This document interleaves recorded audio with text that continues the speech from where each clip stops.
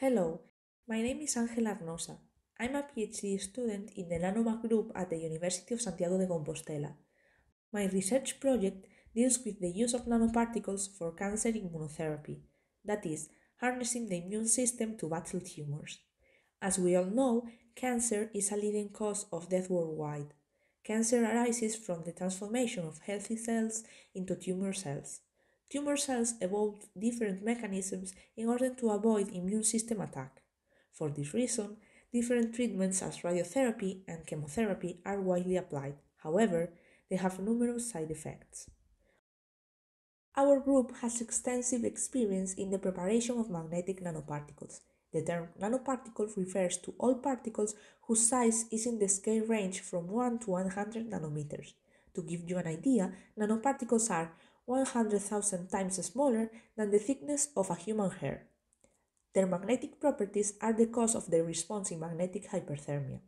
Magnetic hyperthermia is a process based in the increase of the temperature experienced by magnetic nanoparticles when they are placed in an alternating magnetic field. So basically, these nanoparticles produce the heating of their environment. Our work focuses on the selective cell internalization of the magnetic nanoparticles in order to produce an increase in the cell temperature by the utilization of magnetic hyperthermia. The selectivity is given by different biological agents that can be attached to the nanoparticle surface. In this way, we are investigating different ways to make a nanoparticle selective to a certain tumor cells. Once the nanoparticles are internalized, there are two different approaches.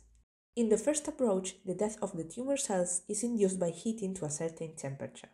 This happens because tumor cells are less resistant to a temperature increase than healthy cells. In the second approach, a softer heating induces the action of cellular mechanisms that cause an inflammatory response in these cells.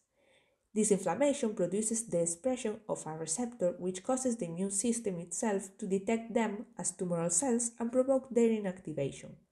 Our work aims to go a step further in cancer treatment research. Thank you for watching.